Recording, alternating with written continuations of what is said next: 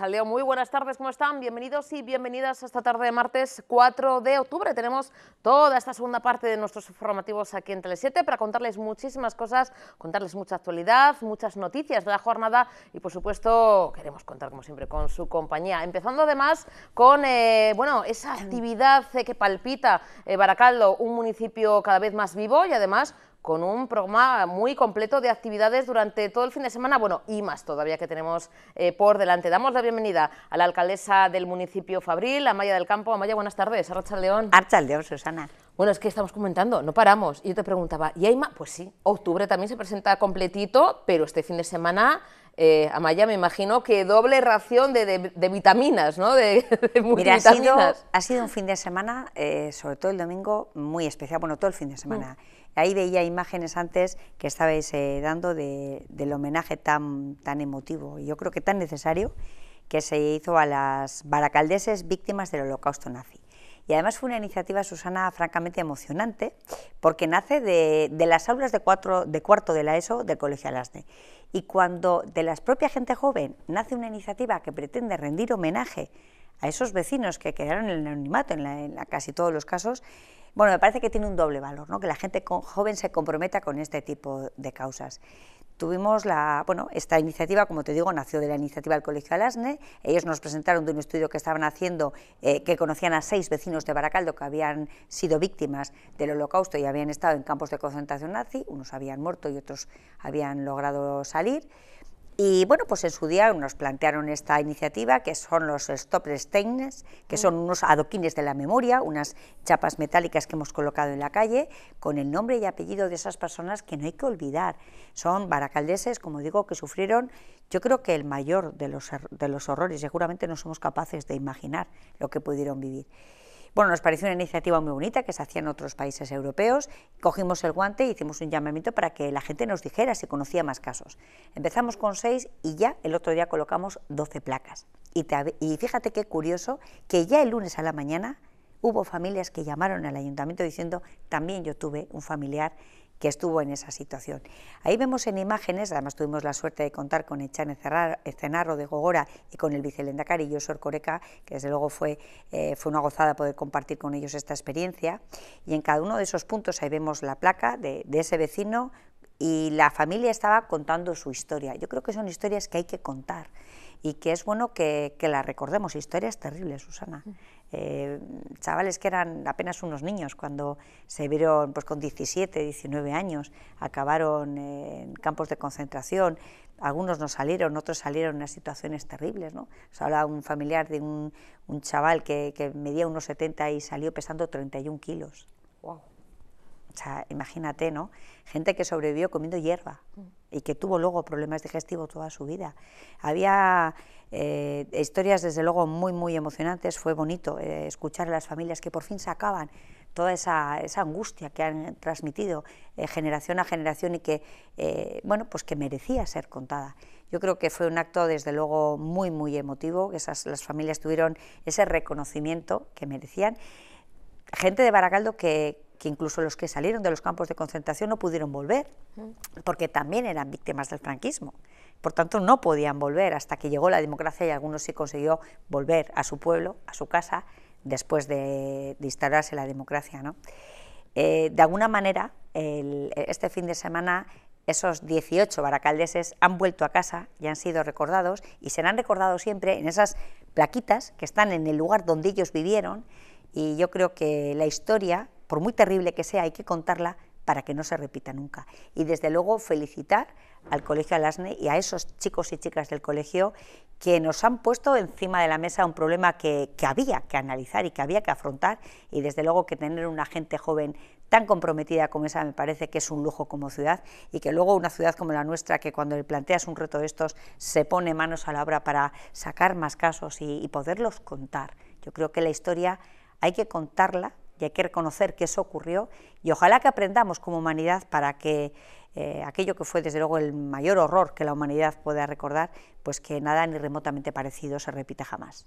Amaya, corrígeme si me equivoco, municipio Baracaldo pionero en una iniciativa como esta a, nivel, ¿no? Eh, no sé, Vizcaya, Euskadi o a nivel también mm. estatal. Eh, somos la primera ciudad grande que lo hace. Es mm. verdad que en Euskadi hubo una ciudad, Busturia, eh, que mm, conocían un caso y pusieron un Stolpesteine y nosotros somos la primera gran ciudad que, que, lo hace. Y además nuestro compromiso es que a medida que vayan saliendo más casos, que seguramente saldrán, ya te digo que han empezado ya el lunes, empezaron las llamadas, pues que, que cada vecino de Baracaldo, cada familia que ha sufrido algo tan terrible, que no quede en el olvido que no son solo números, como decíamos el día del reconocimiento, ¿no? durante un tiempo de su vida fueron solo números a los que trasladaban de un campo de concentración a otro. Hoy son personas, son vecinos, tienen nombre, apellidos, están ahí su lugar donde vivieron, eh, en su pueblo que les reconoce y que no les olvida.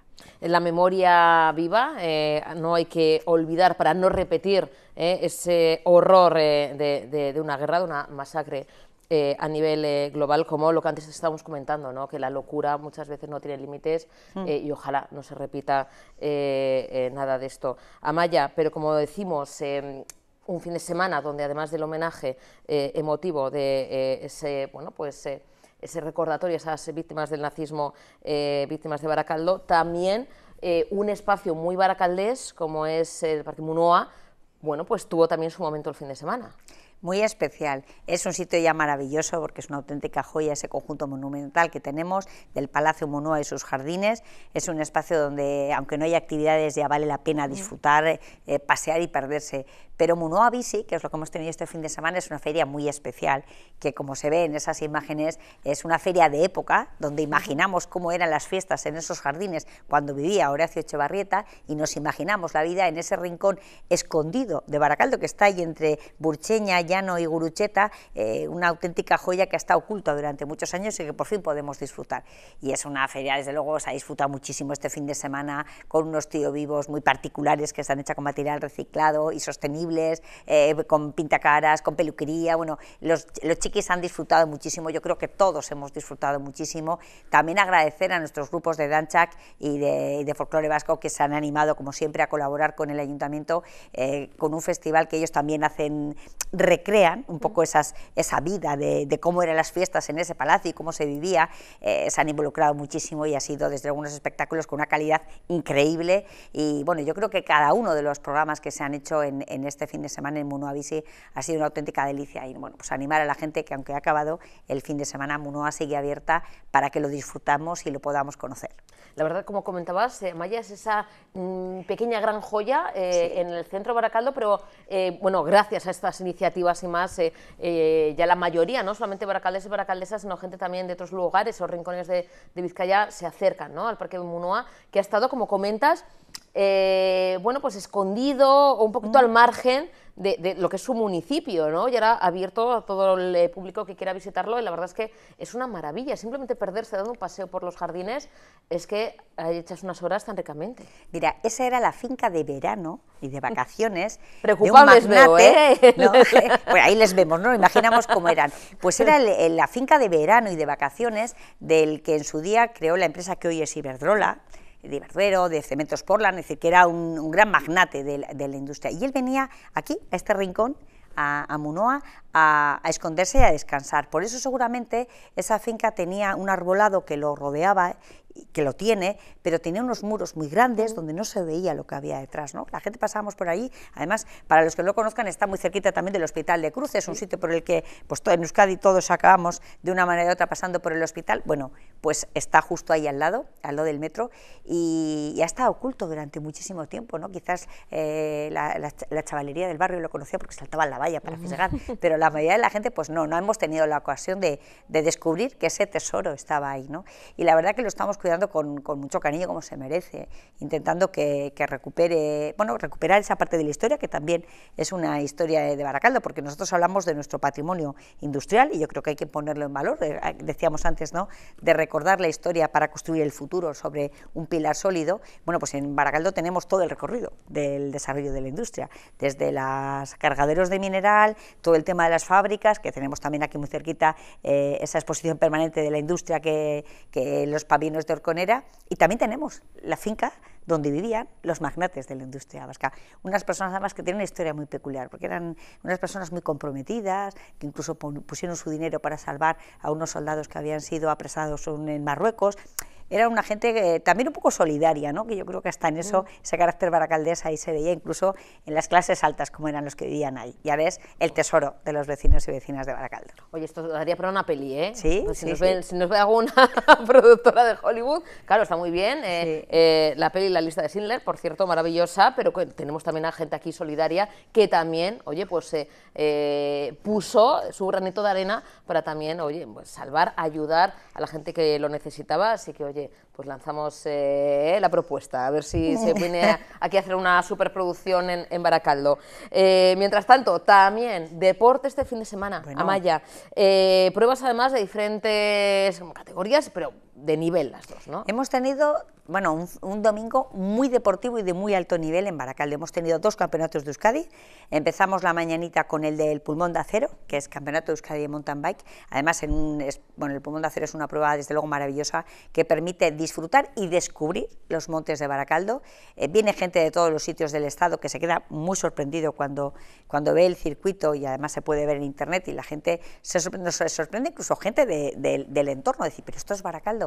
Más del 60% de nuestro suelo verde y nuestros montes son un circuito maravilloso para disfrutar de, la bicicleta. Estamos hablando, hablábamos antes del programa tuyo de la bicicleta como medio de transporte sostenible, pero también tiene un componente lúdico y deportivo.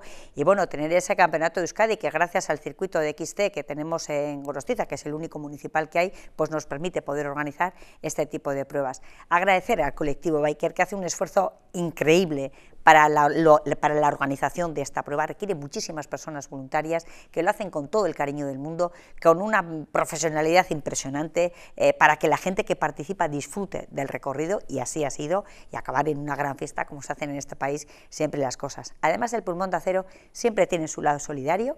Este año han hecho un guiño solidario a la cuadrilla del OSPI, que, bueno, pues para eh, ayudarles a recaudar fondos para para la investigación contra el cáncer infantil, en un momento que además también es muy especial, porque este domingo... Este fin de semana, este domingo, cita que no nos podemos perder con nuestras camisetas. Eso es, el domingo la Cuadri del OSPI propone, eh, este domingo día 9 a las, a las 10 y media de la mañana estaremos en Enrico Plaza con las camisetas verdes, en esa marea verde que nos proponen eh, convocar y para que llenemos las calles de Baracaldo, iremos en esa marea hasta la plaza del hospital. Es importante porque el hospital es un punto muy de referencia y también muy emotivo para las familias que han vivido la situación de tener un niño, una niña o, un adolescente con, cáncer infantil. Y además, eh, esta mañana explicábamos en la, presentación que lo que quieren es que esa fiesta que al final se va a realizar en, el entorno del hospital, en la Plaza de Cruces, que las y los chiquis que estén en la sexta planta, también desde sus habitaciones puedan participar de esa fiesta y hacer las mismas actividades que estemos haciendo desde la calle.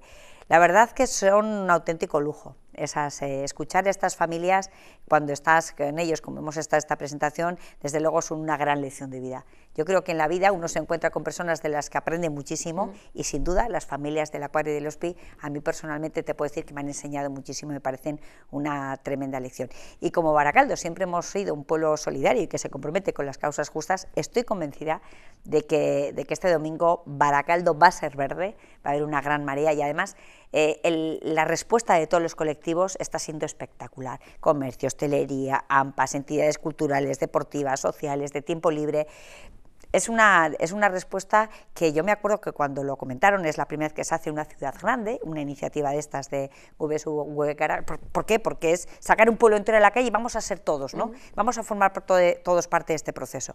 Claro, en una ciudad de más de 100.000 personas, al, fin, al veces dices, bueno, eh, eh, montaremos aquí, que ¿podremos con esto? Claro que podremos, ¿no? siempre podemos en Baracaldo con los retos a los que nos afrontamos, sobre todo si son retos que vale la pena. Y estoy segura de que el domingo eh, la respuesta de Baracaldo va a ser espectacular para estar con ellos y con ellas. Y volvía a la otra prueba deportiva, que tampoco me quiero olvidar, del domingo pasado, 10K mm. Baracaldo, Campeonato de Euskadi de Atletismo, también de la mano del Club de Atletismo Baracaldo, pues también un éxito de participación. Es un eh, circuito urbano que a los profesionales les gusta mucho porque dicen que es muy rápido, yo no entiendo, pero así lo dicen los expertos. Y luego también tiene un componente lúdico de la gente que no son profesionales, pero sí disfrutan del running. ¿no? Y también eh, acabando convirtiendo ese circuito en una gran fiesta donde poder disfrutar de, de los amantes de este deporte. Bueno, deporte salud, deporte es vida sana, pero deporte también son valores, deporte es compartir, es colaborar, es trabajo en equipo, bueno, pues todos esos valores que en el fondo son los valores que tiene nuestra ciudad, pues todo eso se ve y también se ve con esos valores como solidaridad, ¿no? que también está en ese broche final que tendremos el domingo que viene con, con la cuadra de las Piñas. Bueno, va a ser sin duda un domingo en verde, esa marea verde para ayudar a la cuadrilla de los pies, a estos eh, bueno, auténticos eh, héroes, eh, que son los chiquis, pero también esos altas llamas y toda la familia, toda la gente que, lo comentamos antes con, bueno, pues con las compis, con Coro y Arancha, decía, bueno, por ejemplo, ¿no? yo antes he visto en la rueda de prensa que estaba Susana del Amo, que es una de las, de las amas que suele hablar también eh, conmigo, siempre digo, tocaya, tocaya, Y, y, siempre con una sonrisa, siempre con fuerza, con energía.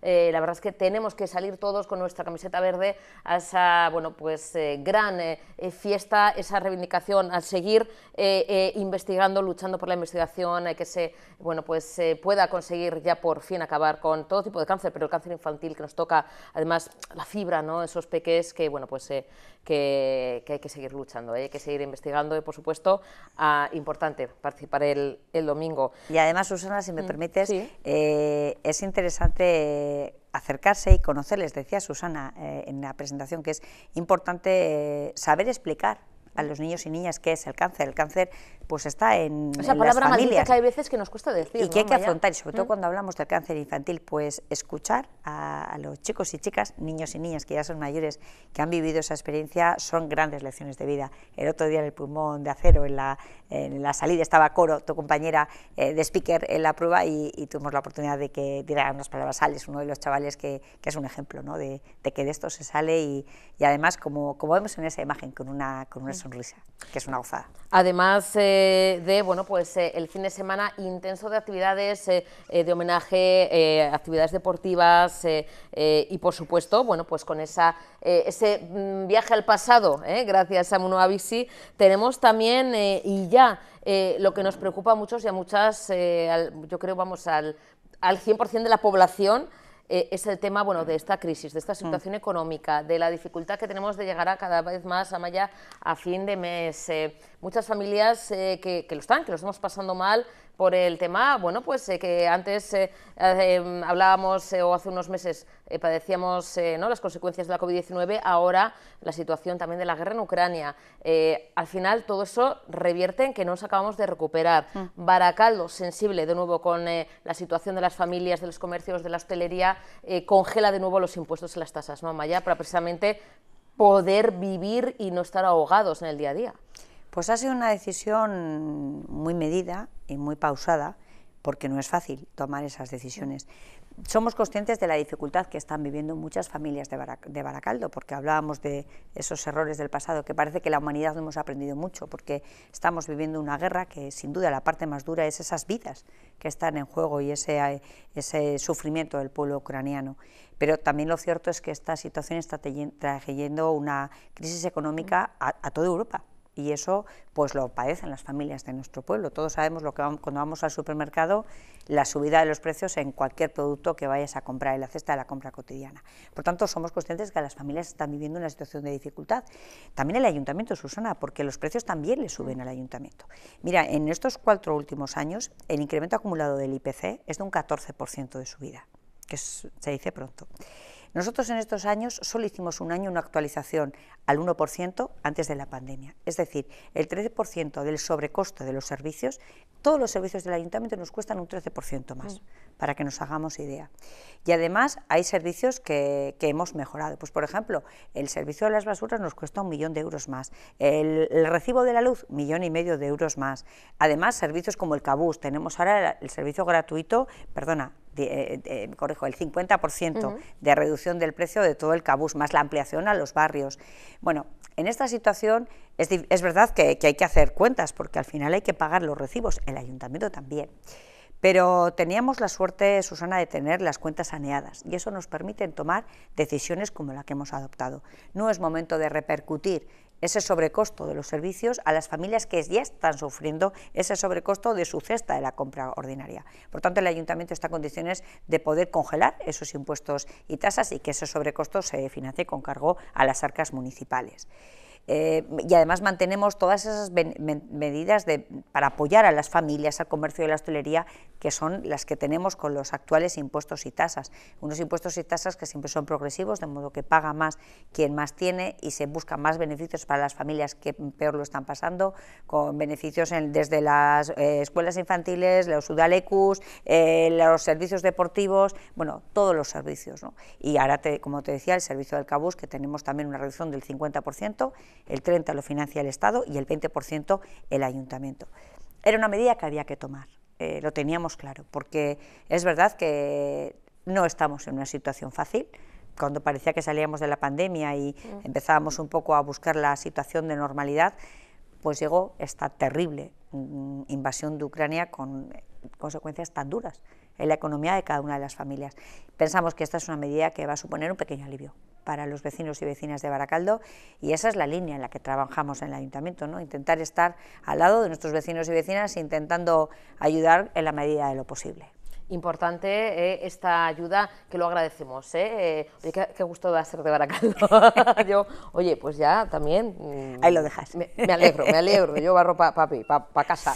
Em, si antes hemos hablado de deporte, que el deporte es, eh, bueno, pues es salud, la actividad física es salud, viene muy bien para el corazón, para el cuerpo y mente. Hombre, un buen baile, el baile, la música, eso ya no es salud, es vida también. Pues y nuestros mayores se merecen vivir todo lo que puedan y más con esa calidad de vida y con esa eh, energía y con los bailables que se recuperan en Baracaldo. Bueno, eh, es una de las actividades que la pandemia nos obligó a suspender. Eh, lógicamente eh, era un momento donde había que intentar, sobre todo, proteger la salud y las vidas. Las personas mayores es verdad que es un colectivo vulnerable, pero también es de los que más han sufrido todas esas consecuencias, porque esas medidas de prevención también han supuesto para ellos y para ellas un cambio de rutina, a veces hasta una situación de, aislamiento, casi casi de soledad, que es una de las cosas que, como sabes, estamos trabajando porque nos preocupa mucho.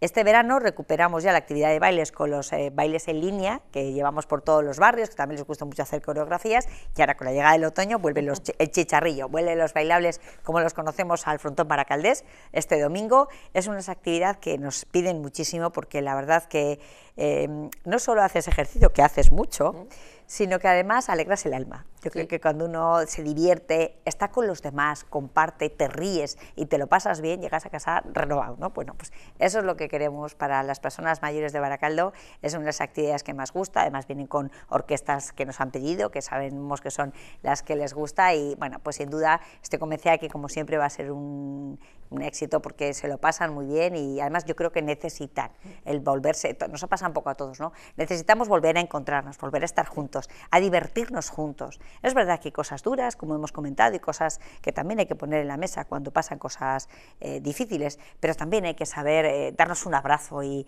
poner una sonrisa a la vida de vez en cuando. Y eso es lo que pretende esta actividad, que estaremos hasta la primavera y ya sabes que cuando llega el verano vuelven a salir con el buen tiempo, esos bailables ya se pasan al Parque de los Hermanos, pero en invierno en el frontón para que llueva, truene o lo que haga, ahí vamos a estar. Oye, pues eh, yo ya, bueno, aviso o amenazo que como voy cumpliendo años, pues igual me acerco un día al frontón Maracalde. Hay que estar preparado, ¿eh? Ya lo sé. No te creas tú que, ¿no? que yo la verdad que alguna vez que he pasado por allí, eh, no sabes la energía que... Mira, y, que, y que además saben los pasos, bailan maravillosamente bien. Yo, vamos, yo seguramente que, que voy y me pierdo, me tropiezo, me hago un nudo con las piernas, me cago al suelo. Pero es que ellos, oye, controlan los pasos, coreografías, o sea, es una maravilla verles bailar. A mí me parece maravilloso ver las personas mayores que tenemos en Baracaldo, la vitalidad que tienen, las ganas de aportar, las ganas de hacer, las ganas de participar. Eh, yo creo que de verdad que no hay forma, es una forma de, coger tú también energía, porque ves eh, después de lo mal que lo han pasado, porque yo creo que las personas mayores son de los colectivos que, peor lo han pasado mm. durante estos años y que todavía este verano, pues algunos eh, todavía con unas ciertas dificultades, con miedos, con preocupación, eh, bueno, entre la pandemia, la, la, guerra de Ucrania, o sea, esta situación genera pues incertidumbre y genera tristeza y necesitamos ponerle una sonrisa a la vida por lo menos un ratito, ¿no? Así que esto pretende los bailables, así que van a disfrutar, se lo van a pasar fenomenal como hacen siempre y bueno, es una, no sabes la cantidad de veces que nos iban preguntando cuándo vuelven los bailables, se han suspendido la pandemia y, y se les ha hecho de menos, ¿eh? Pues ya están de nuevo en Baracaldo. Como antes comentábamos, eh, eh, Amaya, ya casi casi de cierre, fiestas de Bagacha el próximo fin de. Eh, este fin de semana no, el otro. El próximo es, bueno, cercano al, día 12, que por cierto es festivo, que gente que se está enterando, Mone es uno de los que se ha enterado hoy, le hemos dado una alegría. Ah, bueno, que el miércoles es festivo, es el Pilar, y bueno, pues el fin de semana, ese fin de semana después de este día 12, fiestas de Bagacha, poniendo un poquito el broche final de oro a las fiestas del 2022. De en las fiestas de barrios, las últimas son, mm. son las de Bagacha, las de mi barrio, y las primeras son las de Sambi, en enero. En enero. Así que ya ves que el descanso es justo para recibir al lenchero. Eso es. Paramos, recibimos al lenchero y estamos otra vez en marcha. Amaya, como siempre, un atento un placer. Es que Hasta cuando quieras, Susana. Buenas manitas, gracias, Amaya. Vamos eh, a escuchar los datos del paro en Euskadi. Se ha presentado tanto a nivel estatal como a nivel también eh, de comunidades autónomas. En Euskadi, por ejemplo, el paro baja eh, este mes de septiembre en más de 2.000 personas y los indefinidos suponen ahora mismo el 31,19% del total de nuevos contratos firmados. en Euskadi, bueno, pues hay un buen cierre bueno, frente a otras comunidades autónomas donde sí que ha subido mucho más eh, o ha subido el paro, y es, son datos importantes, no solo además porque venimos bueno, pues de unos meses en los que se ha contratado más, teniendo en cuenta el tema también estacional, de verano, esos bueno, pues, trabajos en los que se busca esa temporalidad, por ejemplo, en comercios o hostelería, y porque bueno, pues, es algo importante a remarcar que bueno, pues aquí por lo menos baje el paro y que los indefinidos, bueno, pues eh, que sigan subiendo, ¿eh? que es importante, por supuesto, tener ese empleo estable. Eh, vamos a escuchar, bueno, el paro en Euskadi, los datos de este mes de septiembre y esa valoración.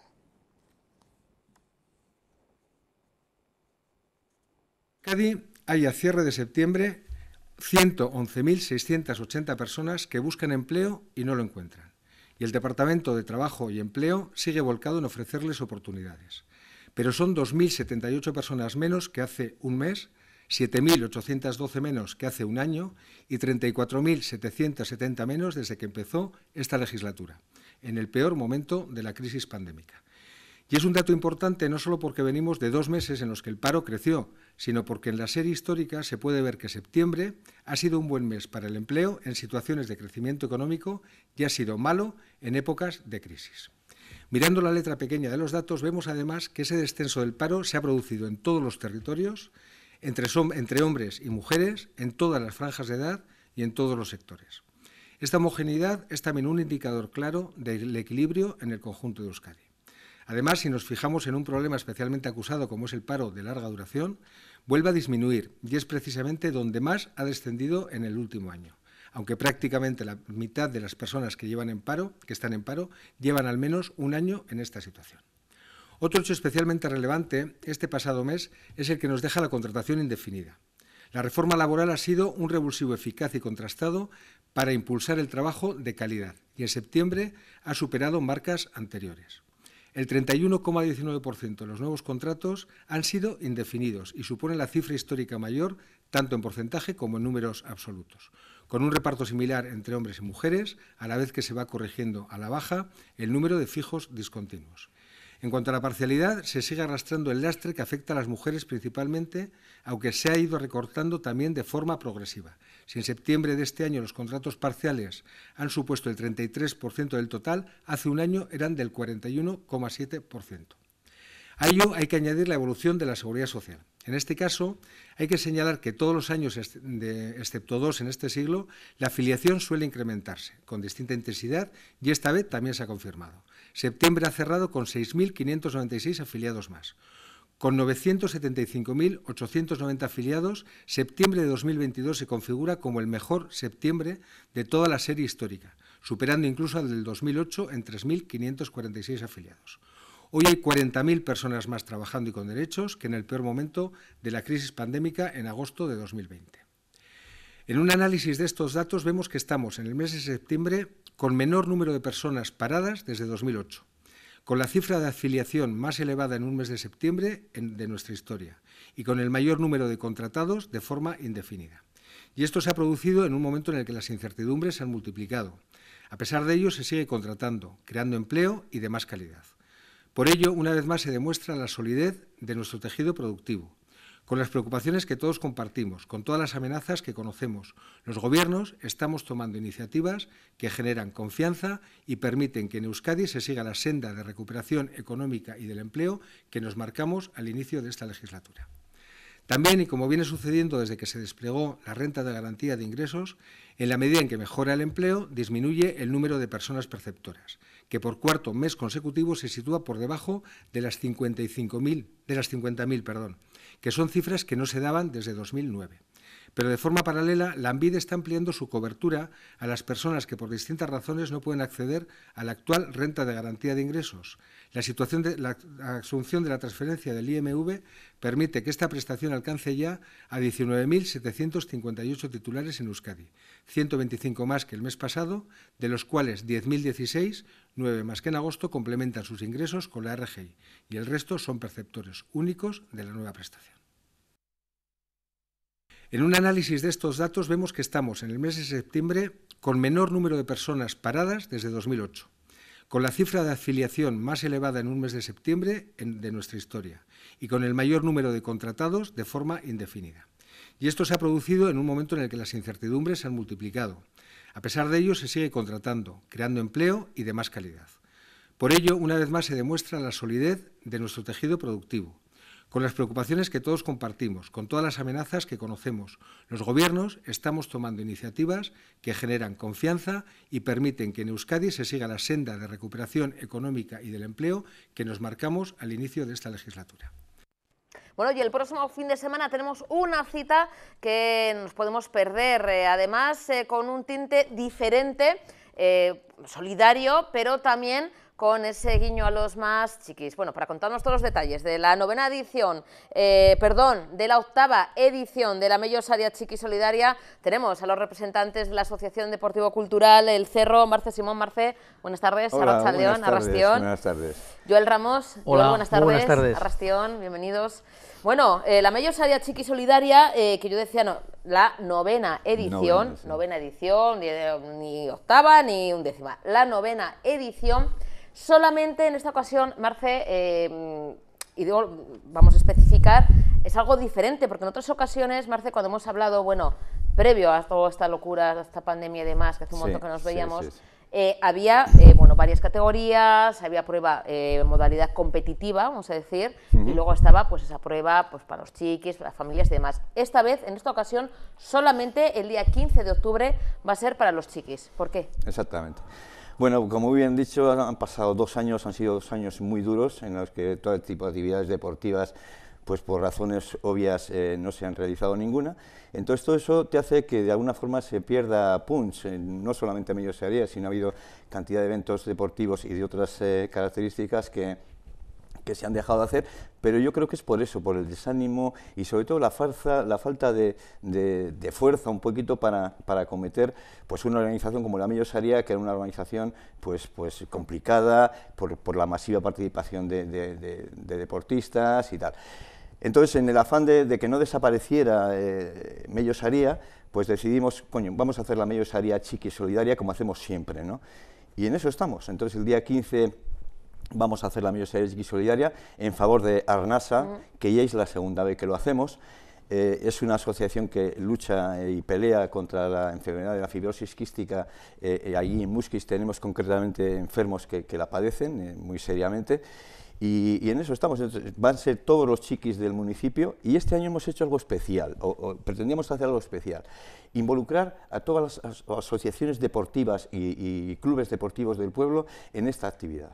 Es decir, vamos a hablar con todos, a ver cómo, qué les parece la idea de que todos participen en una actividad deportiva en pro de una misma, eh, un acto solidario. Entonces, hablamos con todos, con Mendismendi, con, con Musquisco, Suárez Tenis El Cartea, Eusko Baloia, eh, Juventud Deportiva Somorrosto, la Unión Deportiva Muñatones, el Goizale, Sociedad de Pelotasal de Balbadún y el Kickboxing. Y todos, absolutamente todos, van a participar eh, en la medida en que puedan, porque les permita la competición, en esta, en esta actividad deportiva. Pero con una, con una característica especial, que todos se van a presentar en la línea de salida con su indumentaria deportiva. Es decir, todos representando a su, a su entidad deportiva, que están todo el año participando. Yo creo que va a ser una actividad bonita un acto y un momento bonito de, de participar. El recorrido, pues el recorrido va a ser eh, el mismo. De todas formas, me gustaría que Joel eh, comentara el tema del recorrido. Los kilómetros, eh, Joel, porque claro, mm, es una prueba para los chiquis menores de 18 años, vamos a especificar, que esto no tiene que ver con la altura, o sea, yo no podría ir. Eso es. claro, son chiquis, chiquis, no chiqui de altura, sino pues, para los menores, ¿no? para que participen en esta prueba organizada, como decimos, por la Asociación Deportivo Cultural del Cerro de Musquis. 8 kilómetros y medio más o menos. Sí. ¿Cuál va a ser? ¿Por dónde va a ser el Bueno, el, recorrido en principio va a ser el, mismo que en otras ediciones mm. anteriores.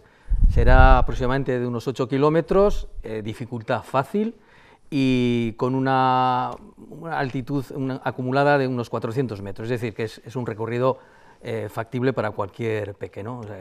el, el, recorrido en principio saldrá a las 10 y media mm. de la mañana de la Plaza San Juan eh, en un principio eh, controlaremos un poquito la salida para que no haya mucha acumulación en la salida, que los peques no empiecen a correr, entonces, empezar la, marcha tranquilamente y nos dirigiremos hacia el polígono. Una vez en el polígono ya tomaremos ya hacia la subida hacia Posadero.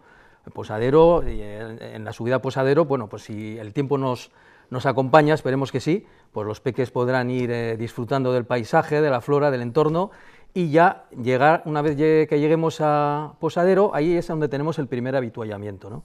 ahí es donde ya los, los peques podrán eh, recuperar fuerzas, hidratarse y ya poco a poco eh, eh, tomar el retorno hacia el punto de la llegada. Hay dos opciones para poder volver, una será por enlazando varias pistas por los ríos o otra más sencilla que es por pista.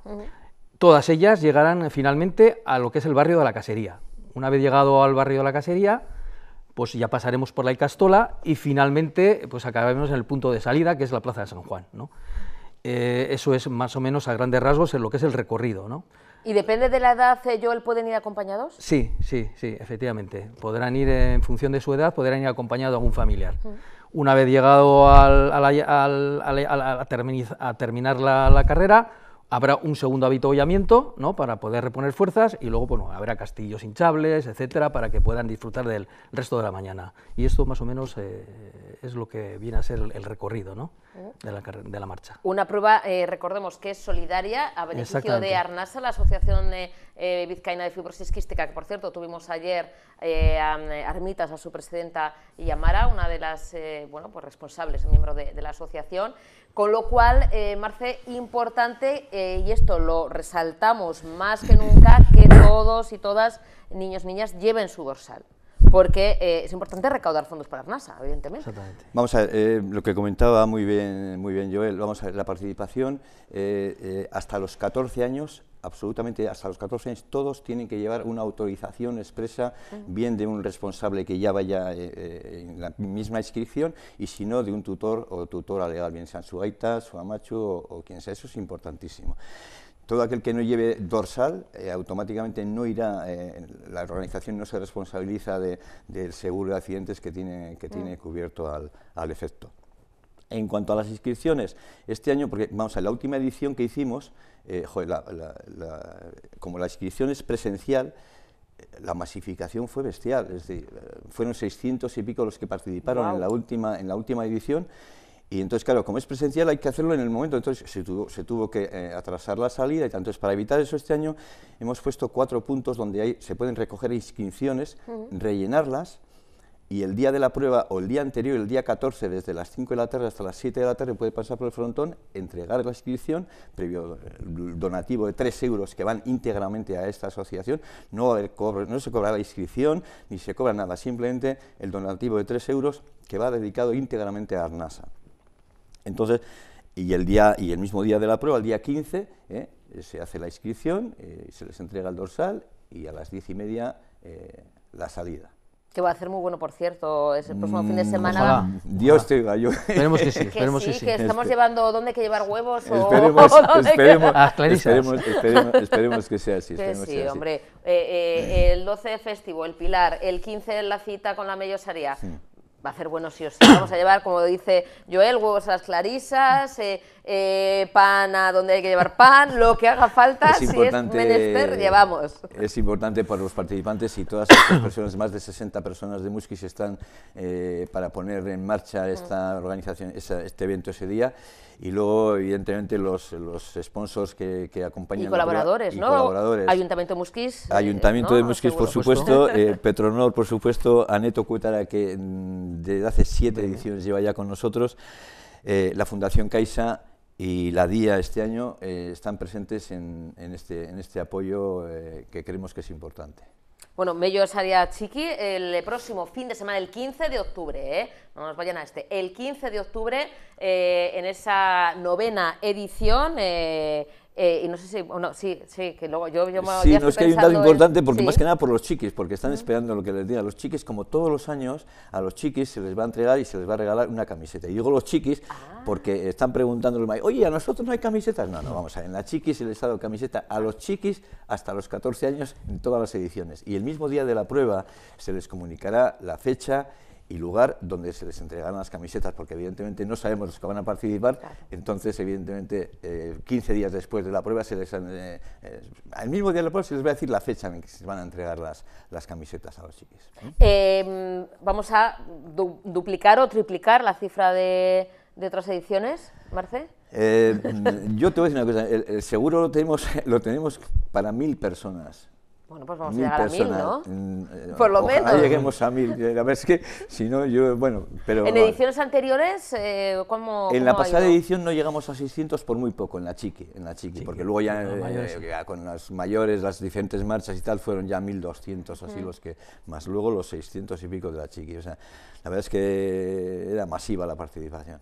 Bueno, pues vamos a, a llegar a mil, ¿eh? Que con mil, mm, ahí nos conformamos por lo menos para este año. Perfectamente. Para el siguiente, por cierto, yo sé que no estamos adelantando mucho, que estamos hablando de Mello Saria Chiqui el 15 de octubre eh, de 2022, pero para el siguiente año, que ya estamos recuperando cierta normalidad, eh, Marce, Joel, yo sé que todavía es muy pronto, que estáis metidos, eh, enfangados ¿no? en, en esta, Totalmente. pero eh, ¿hay visos de que haya también una prueba de mayores? Vamos a ver, eh, el objetivo, como te decía antes, es que eh, nos retroalimentemos con esta prueba. Es decir, que aquí siempre Coger el fuerzas de año que nuevo, viene ¿no? hago más, el- a esas alturas, digo, "Bueno, el año que viene yo me olvido, tal. Pero luego resulta que llega el día de la prueba, ves, ves la afluencia de gente y eso de alguna forma te, Mm. eh, te recarga, ¿no? Y bueno, la idea es, la idea es en retomar la, la mellosaría en toda su, en toda su sustancia, ¿no? Eh, queremos que sí, queremos que sí, ¿eh? Es que si no, ¿yo qué hago? O sea, a ver, tenemos la chiqui, que por supuesto, vamos, no les traigo de las orejas, pero claro, es que um, se me hace muy largo si no. Mira, o sea, yo- tenemos que hablar más Eh, ocasiones. Mira, aquí hemos estado mucha gente, ha estado Andoni, ha estado Churromón, ha estado Joel ahora mismo, y, y a todos les has prometido, a todos nos has prometido que ibas a estar en la Mellosaria. Eh, Va a ser la novena chiqui. edición, va a ser la novena edición y no te hemos visto. No, eh, es verdad, yo por eso te decía lo de chiqui, digo, no tiene que ver con la altura, eh, este año no puedo, no puedo participar, mm, y cachis, pero para el siguiente, oye, me Bueno, estoy bueno, preparando, bueno. Tomamos Marce nota, Joel, tomamos nota. Y eh, bueno, me estoy preparando, que he ido dos veces al gimnasio, bueno, eso es preparación, Bien, eso bien, es bien, eh, bien. constancia, y, y bueno, para el año que viene mm, voy, voy bien, ¿no? De tiempo, Sí, más sí, o joder, menos, sí, voy yo bien de creo- Tienes tiempo. tiempo. yo creo que sí, yo Voy bien que de sí. tiempo. Mientras tanto, oye, pues eh, iremos a ver, a disfrutar, a aplaudir Eso a es. nuestros chiquis, eh, a, eh, por supuesto, apoyar también a que se recaude lo máximo posible para Arnasa. Y Joel, Marce, como siempre, un auténtico placer. Muchísimas y nada, algún gracias. día me veréis vestida de pantalón corto, ¿eh? A ver, si es Corriendo. verdad, a ver si es verdad. Eso es verdad. es que recasco los dos, de Muchas verdad. gracias. Muchas gracias. gracias. No se lo pueden perder el 15 de octubre y por supuesto que se apunte con todos con el dorsal. Vamos a los presupuestos generales del Estado. ¿eh? Eh, ha sido bueno pues un acuerdo en extremis. A altas horas de la madrugada, Partido Socialista y Unidas Podemos alcanzan ese acuerdo para bueno pues eh, llevar ese Consejo de Ministros que ha aprobado esos presupuestos. Las cuentas generales del Estado ya han sido aprobadas. Escuchamos a la ministra de Hacienda, María Jesús Montero, que cuenta los detalles. esta ley de presupuesto es la norma principal en la que un gobierno vuelca sus prioridades, en las que marcamos de forma más nítida nuestra hoja de ruta y en la que dibujamos qué país queremos. Por tanto, van a ser unos presupuestos que fundamentalmente están pensados y están dirigidos a los ciudadanos y a las ciudadanas. De hecho, no puede haber justicia social sin eficiencia económica y viceversa. Porque es justamente esta justicia social, con la defensa del estado del bienestar, la condición necesaria para alcanzar un crecimiento económico inclusivo y posibilitar el ensanchamiento de la clase media y trabajadora. Siempre nos escucháis decir que es justamente esta, la clase media de nuestro país, el cimiento y la base que permiten la cohesión social y, por tanto, todas las políticas que impulsamos están pensadas para mejorar su posición, además de, por supuesto, para proteger a los colectivos más vulnerables. Y creo que los números corroboran el acierto de estas políticas, porque a pesar de que hemos tenido que afrontar crisis tan importantes como la pandemia, o las consecuencias de la guerra en las puertas de Europa, no solo hemos estado pendientes de lo urgente, que también lo hemos hecho, sino que hemos reorientado esta política presupuestaria para conseguir una mayor justicia social y para la transformación de nuestro modelo productivo. Y os doy algunas cifras que son significativas. Por ejemplo, cuando estas cuentas sean validadas, el gasto en sanidad a lo largo de esta legislatura se habrá duplicado respecto al último presupuesto del Partido Popular. Por poner el dato de la inversión en educación, que es lo mismo que la inversión en el futuro, se habrá aumentado durante este periodo un 60% las políticas presupuestarias en esta materia. Igualmente, las becas son fundamentales para garantizar la igualdad de oportunidades, habrán registrado un incremento de casi 900 millones de euros. Si nos detenemos en un apartado que nos ha sacado de la situación de la pandemia, como ha sido la ciencia, con tres presupuestos progresistas, la inversión del Estado en I de Magí se ha aumentado un 23%, alcanzando ya los 8.673 millones de euros. Pero no solamente estos datos son ilustrativos, si también queremos una España moderna, que sea fuerte económicamente, necesitamos apostar por la inversión. Los presupuestos 2023 van a destinar a infraestructura 8.116 millones, lo que representa un 50% más. Quizás alguien podría pensar que lo estamos haciendo por el impulso que nos está dando el plan de recuperación, transformación y resiliencia. Y, por supuesto, estos fondos son una ayuda por todos los datos que voy dando, pero todo lo que he comentado hasta el momento no ha incluido el plan de transformación. Quiere decir que son cambios estructurales que se financian con ingresos propios. Por otra parte, el desarrollo humano de un país se, mide en buena medida en cómo se trata a las personas mayores y especialmente a los más vulnerables, a pesar de que algunos nieguen que este grupo de personas existe. El PP, de hecho, dejó el Gobierno presupuestando para la atención a la dependencia 1.401 millones, una cifra que en los presupuestos 2023 se eleva hasta los 3.522 millones. Esto significa un 150% más que cuando el presidente Sánchez llegó a Moncloa. Igualmente pasa con la política de igualdad. Los recursos del Estado para combatir la lacra de la violencia de género han aumentado un 24% en los últimos años, alcanzando los 260 millones de euros. Por eso hay veces en los que los números pueden expresar muy bien lo que intentamos trasladar con muchas palabras y los datos demuestran que el Gobierno tiene una idea muy clara de lo que quiere como país y también de mayor justicia social, mayor prosperidad económica, en definitiva, que avancemos todos para que podamos ir más deprisa y, sobre todo, para que las personas más vulnerables también puedan aportar a ese crecimiento. Entrando ya en detalle, como vengo diciendo en los últimos días, el presupuesto 2023 marca la senda del gasto estructural y también la tendencia que tiene nuestra consolidación fiscal respecto a la homogeneidad de comparativa con presupuestos anteriores. Por eso es importante subrayar que no contiene las medidas extraordinarias con motivo de la invasión de Ucrania y sus consecuencias económicas. Por tanto, prudencia y responsabilidad en esta consolidación fiscal, que además atiende las recomendaciones de la Comisión Europea, puesto que el gasto primario nacional crece un 1,5% respecto a 2022, una cifra inferior al PIB potencial a medio plazo que situamos en torno al 3,2%. Igualmente, este presupuesto incluye los fondos procedentes del Plan de Recuperación, Transformación y Resiliencia, el mayor programa de inversión europeo que jamás se ha aprobado y que tuvo en España a uno de sus principales impulsores, concretamente al presidente Sánchez. Por eso hay dos formas de aproximarnos a estos presupuestos en función de si incluimos o no los fondos europeos. El límite de gasto no financiero total alcanza los 198.221 millones, con un incremento del 1,1% respecto al ejercicio anterior, suponiendo la mayor cifra jamás registrada. Esto con fondos europeos. Si los descontamos, el techo de gasto, que podríamos llamar nacional, para que nos entendamos, se sitúa en 173.065 millones, un 1,9% más, que también supone un hito sin precedentes en la historia presupuestaria.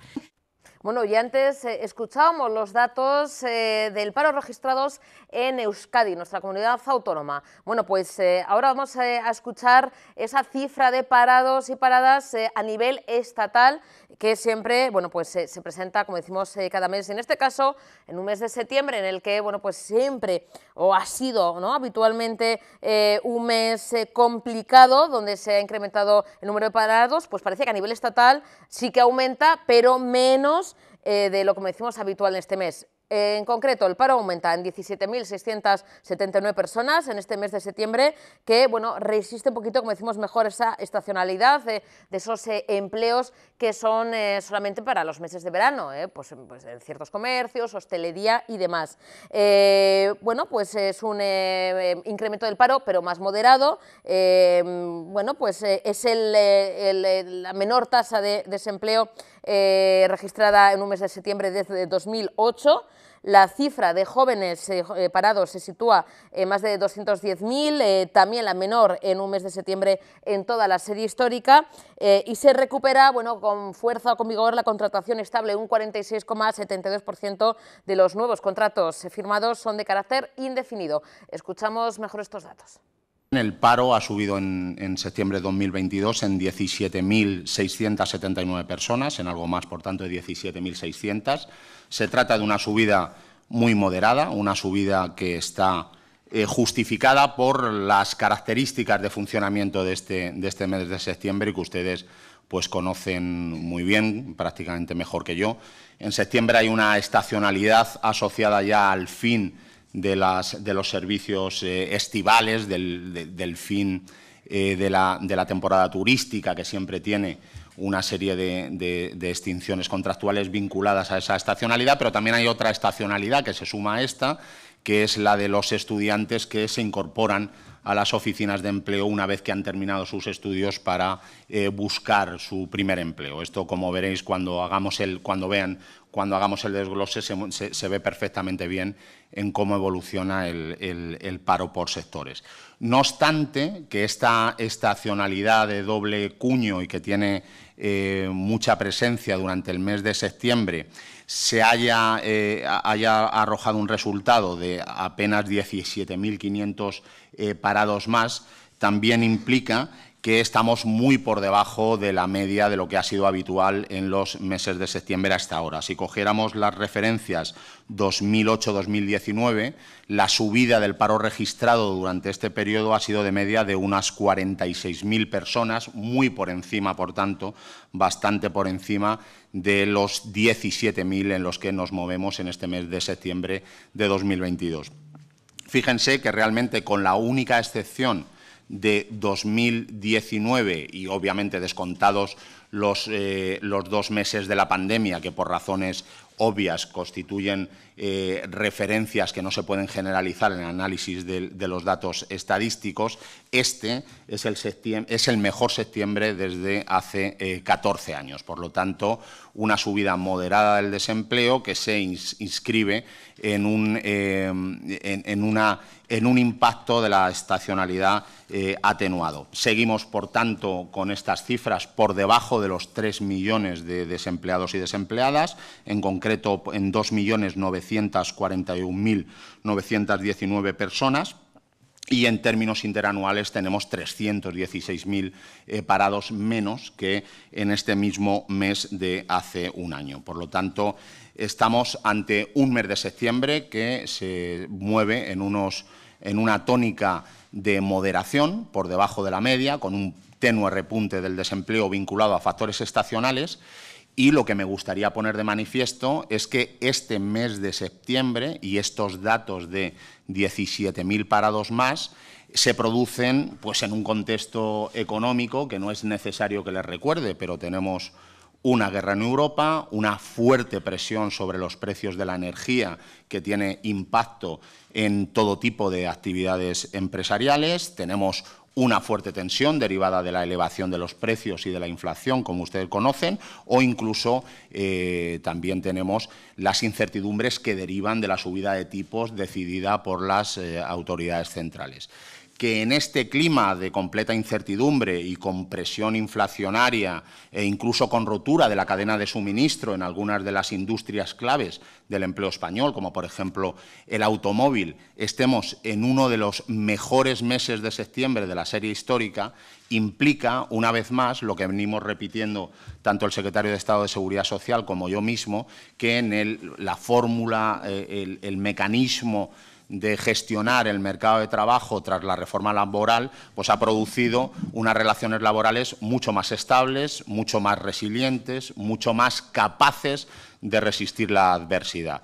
A cualquier análisis que hiciéramos, por trivial que esté fuera, en épocas de incertidumbre económica, hasta no hace mucho tiempo, la reacción del empleo era casi una hiperreacción. Se ha hablado mucho de un mercado de trabajo eh, bulímico o se ha hablado mucho de un mercado de trabajo eh, puramente especulativo o hiperreactivo, que por tanto llevaba siempre eh, una capacidad muy fuerte de destruir empleo al primer síntoma de incertidumbre económica y la incapacidad de mantenerlo, por lo tanto, ante las adversidades. Yo creo que la primera prueba de fuego donde esto se superó en nuestro país fue durante la pandemia y ahora yo creo que hemos conseguido también que en circunstancias de normalidad el mercado de trabajo muestre esta resistencia y pierda, en cierta medida, su carácter de volatilidad. Esto se ha hecho gracias a que las empresas confían más en los métodos de flexibilidad interna y que desde luego están paulatinamente aparcando las vías de ajuste tradicionales en España, que eran tanto el despido como el abuso de la contratación temporal.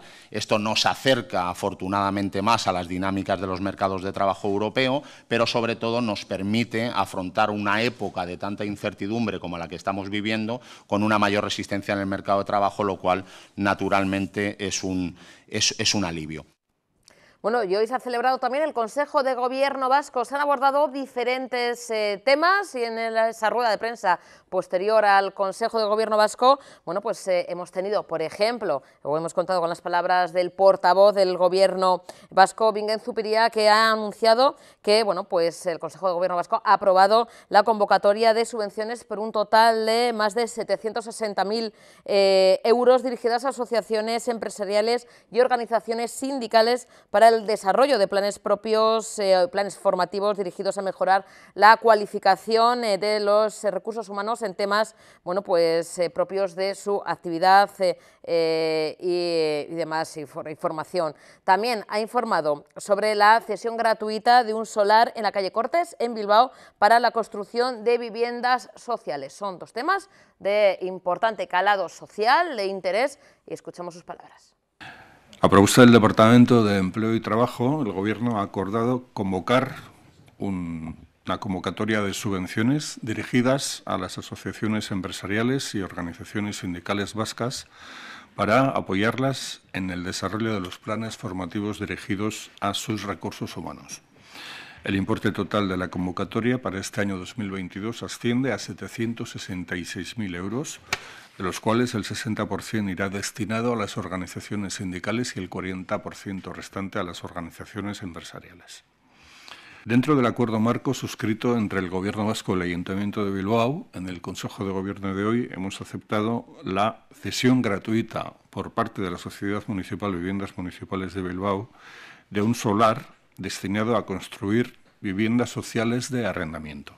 Se trata de un solar en la calle Cortes de, Bilbao la Vieja de una extensión de 608 metros cuadrados que, como he dicho, será cedido de forma gratuita y libre de cargas al Gobierno para la construcción de 23 viviendas de la mano de la sociedad pública Visesa. Continuamos en Tele7 y tenemos una cita este mismo jueves a partir de las 7 y media de la tarde en el Centro Cultural Clara Compamor, perdona, en el Centro Cultural Santa Clara. Hoy, madre mía, yo sigo barriendo para casa, como se nota, eh, los genes baracaldeses. En el Centro Cultural Santa Clara de Portugalete, eh, este jueves, Centro Cultural Santa Clara de Portugalete, 7 y media, presentación del de, eh, Día del Fin del Mundo de la Portugaluja. Loli Albañil, Loli, buenas tardes. Buenas tardes. Claro, es que yo, mira, oye, que no quita para que después de eh, esa presentación oficial, eh, la primera, en tu casa, en tu pueblo, en tu tierra, oye, pues luego vengas también a Baracaldo. ¿no? Claro, no me haga falta. que también, oye, que luego se mueva eh, esta, esta novela, este libro, que es el primero eh, Loli, que publicas eh, y era algo que tenías pendiente, antes comentábamos un poquito en esa mini charla que tenemos antes de entrar en directo, que era una cuenta pendiente, ¿no? para ti, que, eres una ávida lectora, que te gusta leer, eh, has escrito también siempre mucho, pero para ti. En este caso, esto era algo que casi, bueno, tenías pendiente o que te han empujado también, Me han empujado un poquito, me han empujado y, yo me he dejado empujar.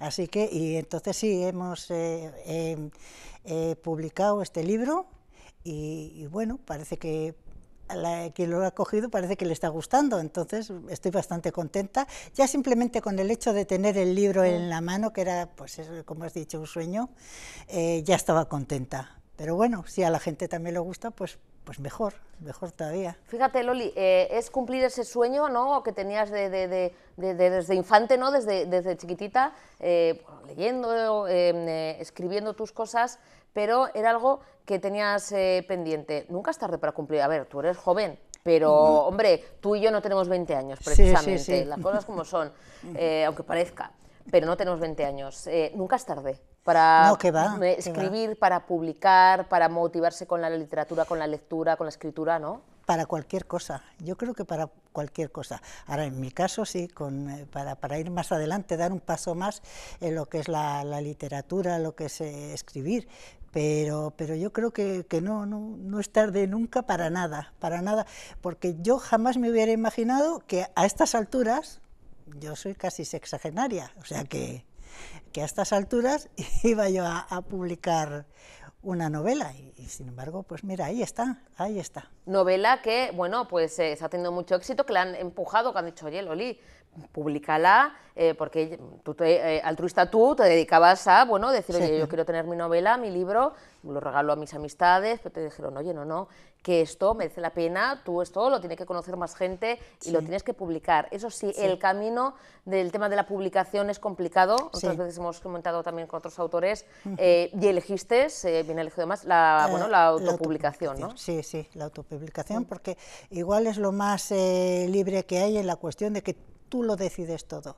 Al ser eh, tu obra, tú decides todo. Hay que, eh, bueno, pues eliges la, portada como quieres que sea, lo que, lo que se va a contar de la contraportada del libro, incluso lo que se va a contar de, la autora, también se, elige. Y entonces, pues eh, es, es, la, en ese aspecto es más libertad. Si te vas a una editorial mm, de forma, digamos, eh, como siempre, la forma clásica, pues tienes más complicaciones para ser eh, que no eres conocida ni para ser poco, poco conocida. Es, em, es más difícil. Así lo puedes mover tú también. Así lo muevo yo, sí. Y, apuestas por tu novela, que a pesar del eh, bueno, mm, título apocalíptico, ¿no? no tiene nada que ver con esta locura de la guerra, de la invasión rusa, ni mucho menos, que ya estamos ya saturados, saturadas, Lori, nada que ver. Eh, al contrario, ¿no? Eh, ¿Cómo podemos definir, ¿Novela romántica? Romántica. Es una novela romántica, de romance. Simplemente es la historia de, una mujer a finales de la década de los 70 que se encuentra ante un día muy importante, crucial en su vida y, cómo ella recuerda cómo ha sido esa vida. Eh, pues, pues su infancia un poco y luego pues eh, eh, el seguir su adolescencia, sus, sus relaciones las relaciones con su padre, con una tía bastante, bastante dominante y cómo ella, digamos, sale de todo eso o intenta salir de todo eso. ¿Tiene tintes autobiográficos, Loli? No, no, no, para nada, no en absoluto. ¿Y, cómo, cómo, cómo, surge la idea de el día del fin del mundo? De, bueno, pues este personaje, de, bueno, además de eh, hablar de novela romántica, mm, apuesta también o hablas también de valores como por ejemplo la bondad, eh, bueno, además del amor, eh, también el mirar más allá ¿no? de lo superficial, ¿no? quizás de lo económico, esa belleza interior que tenemos, la lealtad, valores importantes que hace falta recuperar, que parece que los hemos perdido. Y, cómo surge un poquito la idea? Porque no está basada en ti, Loli, pero no sé si de alguien que conoces o es un personaje totalmente ficticio, pero ¿cómo surge un poquito la idea? ¿Cómo se pues enfrenta una, a esa en blanco? Pues verás, hace unos cuantos años, bastantes, eh, yo venía en un viaje en coche de Málaga y paramos en la, en la Mancha, en un sitio, yo no sé decirte dónde paramos, pero me llamó mucho la atención, paramos a tomar un café y me llamó mucho la atención que encima de la cafetera había una foto de un retrato de un matrimonio, o sea, de, una, de bodas, un retrato de bodas. Y, y la, la chica que estaba poniéndonos el café era la novia y de la cocina salió un chico vestido de mecánico y esto, y le dijo algo y ella le miró, le sonrió. Me pareció una escena tan bonita, me pareció como muy bonita. Y cuando ya volvía, o sea, seguía subiendo en el coche, pues ya venía yo imaginándome una historia para, para ellos. Igual eran una pareja que se habían hecho novios a los 14 años y no sé, pero ya me venía yo cuando volvía, ya venía yo maquinando una historia, pues que, que fuera una historia bonita y que tuviera algo diferente, claro, porque Qué eh, bueno, oye, pues un saludo a, esa pareja, matrimonio, lo que nunca, he vuelto, nunca he vuelto a coincidir, nunca he vuelto a coincidir en el sitio ese. en los sitios menos sospechados, ¿no, Loli? Una pues encuentra eh, el hilo donde tirar y luego, bueno, pues, pues seguir creando eh, y escribiendo el, el libro, la novela. Em, cuando estabas en esos momentos eh, quizá de decir, pues, lo dejo, esto es porque, claro, es un trabajo arduo, ¿no? El estar escribiendo en una disciplina, el estar, eh, bueno, pico y pala, eh, creando, ¿no? Esa historia. Em, ¿Quién fueron tus apoyos? ¿O a quién un poquito podemos decir, oye, dedico esta novela o me han apoyado, me han ayudado? A mi familia sobre todo, pero mi familia, mis amigos y bueno, luego mucha gente también, mucha gente que, que me ha apoyado también pues eh, gente que son amigos, conocidos de, la calle, pues de la cafetería donde vas a tomar café, o de, yo qué sé, pues, eh, pues donde vas a arreglarte un poco a maquillarte.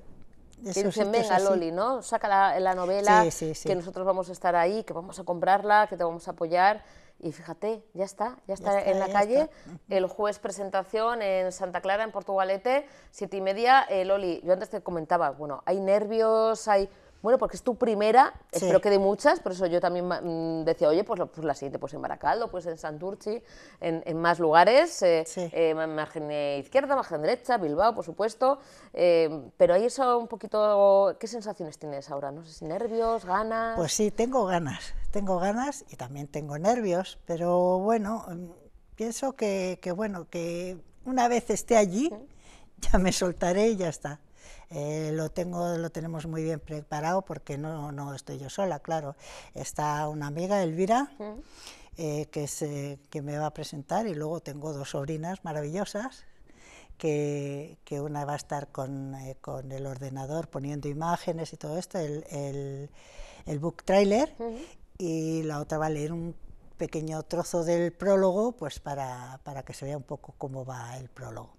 ¿Ya está a la venta? ¿Ya dónde, sabes dónde se puede eh, Loli bueno, pues adquirir o comprar? Eh, eh, sí, mm, se puede comprar en Amazon, ya hace tiempo que está a la venta. se puede comprar en Amazon, se puede comprar en, en el corte inglés, pedir en el corte inglés, porque claro, está todo bajo demanda. en el corte inglés, en la casa del libro, pero a mí lo que más me gusta es que puestos a, tener que pedirla, pues que se pida en la librería de tu barrio, en la librería de tu zona, porque el señor de Amazon tiene tanto dinero que no sabe qué hacer con él y se va a la luna. Le sobra y nuestros libreros libreras eso lo es, y tienen que vivir el día a día. Entonces, yo puestos a decir que lo pidan, pues prefiero que lo pidan al a los libreros, a la, a la librería del, del, barrio, que además son los que más saben, porque tú vas y preguntas, ¿y este qué tal será? Este? Pues eh, mira, este... Y, te suelen aconsejar y te aconsejan bien porque los conocen, simplemente. Entonces, sí, eh, yo opto por la librería de, del barrio o, de, o de la, del pueblo donde vivas. Oye, Loli, eh, hemos visto ahí el cartel de la presentación de este jueves en Santa Clara, en Porto, siete y media. Eh, ¿Es el primero de más novelas, el primer, la primera novela de, más historias? Eh, ¿O pues... pensada ahí en mente? O, o, bueno, o que venga la inspiración? No hay pensadas y de hecho me están diciendo ya que cuando empiezo la otra, cuando empiezo otra. Están metiendo ahí Sí, sí, ya me están diciendo. Entonces, bueno, por lo pronto vamos a salir de esta, que es lo que yo digo, y, seguir escribiendo, sí, porque seguir escribiendo, igual que, que, llevo muchos años escribiendo, seguir escribiendo. Ahora ya publicar o autopublicar o eso ya es otra cosa, ya veremos. o seguir dándola gratis, poco a que también está muy bien.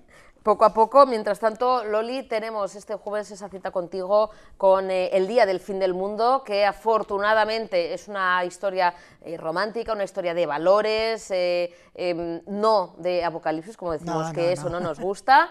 ¿eh? que ya bastante estamos saturados, o sobresaturados de tanta información y tragedias y demás. Y Loli, eh, dar también las gracias, eh, lo digo desde aquí, que las mencioné antes a Elvira, que se nos ha puesto en contacto, Tu, tu, amiga que va a estar en la presentación, bueno, y a toda esa gente que, que te quiere que va a estar el jueves.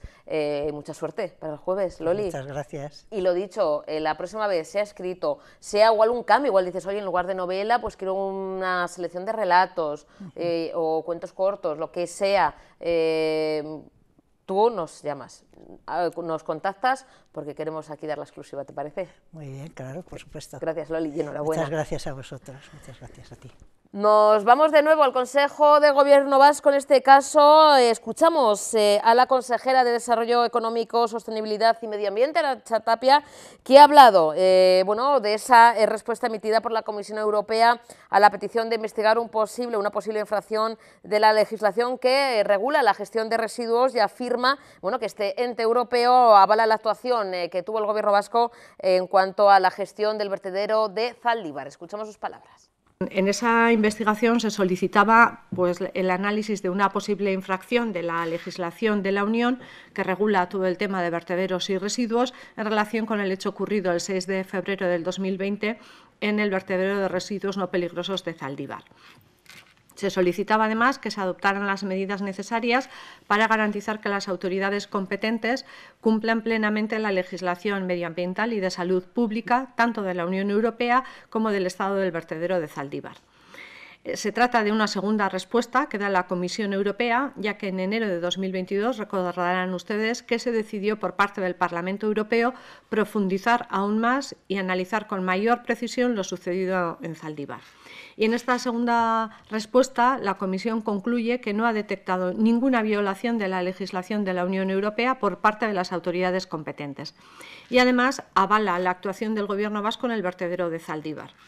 Se avala la actuación tanto en lo, que se refiere a los procesos, permisos administrativos y el control previo al suceso y además a las posteriores actuaciones para afrontar la emergencia y evitar daños ambientales. En concreto, se señala que según la investigación iniciada en 2020, a raíz de la Directiva de Vertido de Residuos, las autoridades competentes tomaron las medidas necesarias para garantizar el cumplimiento de la legislación de la Unión Europea, en particular en lo que se refiere a la concesión de la autorización de la empresa explotadora de vertedero y en la realización de controles, seguimiento e inspecciones periódicas del cumplimiento de las condiciones en la fase de explotación del mismo. Se señala en segundo lugar que tras el accidente se han adoptado medidas correctoras urgentes para reducir las repercusiones negativas sobre la salud humana y el medio ambiente. Y además, la Comisión menciona las medidas adoptadas por las autoridades a raíz del incidente, como la vigilancia continua de la calidad del aire en la zona del vertedero y en los alrededores urbanos de Hermoa y de Ibar y añade que se encargó a una empresa registrada especializada la supervisión en relación con el amianto y la toma de muestras y análisis ambientales en la zona del vertedero. La información que ha evaluado la Comisión se basa tanto en la auditoría externa realizada por la empresa británica Ricardo Environment como en la propia información que ha sido solicitada por la propia Comisión al Gobierno vasco y que ha sido remitida eh, a tal efecto.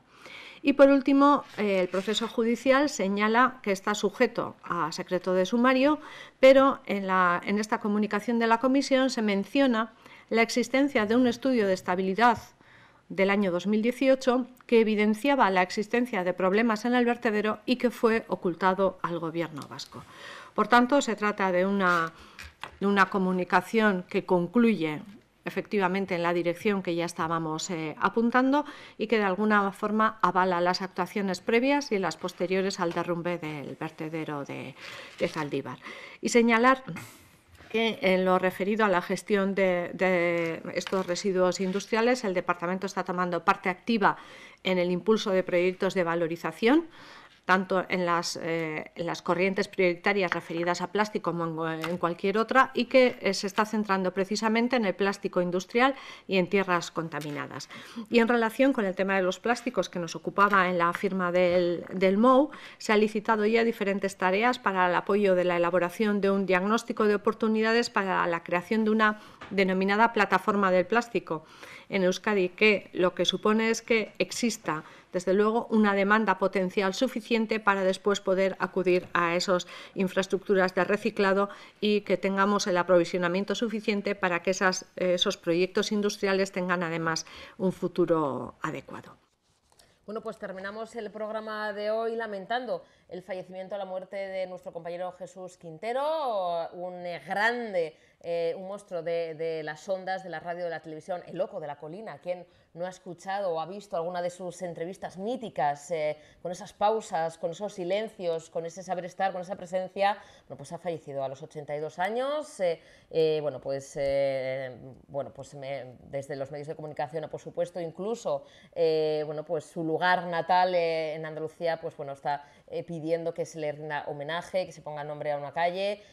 bueno, se suceden pues, todas las muestras de cariño y, por supuesto, de admiración a este grande como decimos, eh, de las ondas. Eh, con una de sus intervenciones, de sus speech, ¿no? Por decirlo así, eh, que habla sobre la vida, ¿no?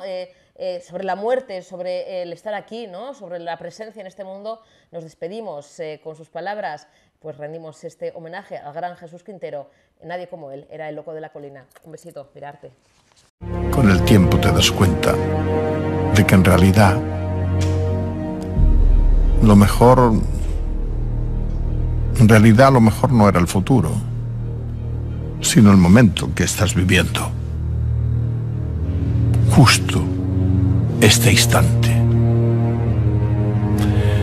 Pero desafortunadamente, solo con el tiempo uno aprende. Estoy y quiero vivir como si no tuviera nada que perder como si cada día fuera el último, como si siempre estuviera a partir la nave que nunca ha de tornar. Quiero besar como si cada beso fuera el último. Quiero gozar como si cada gozo fuera el último. Quiero hacer la televisión como si cada programa fuera el último. La última copa de vino, la última noche de amor, el último paseo por las calles de Sevilla, la última canción, las últimas palabras. Cuando a uno le da igual perderlo todo, desaparecen los miedos, las cadenas, las ataduras, los compromisos la timidez, el miedo. Cuando uno está dispuesto a perderlo todo, empieza a estar en condiciones de ganarlo todo. ¿Qué es todo? El valor, la sinceridad, la autenticidad, la claridad, la libertad, el camino, la verdad y la vida que decía mi tocayo. Quiero vivir de acuerdo conmigo mismo. De eso es de lo que se trata, hermano.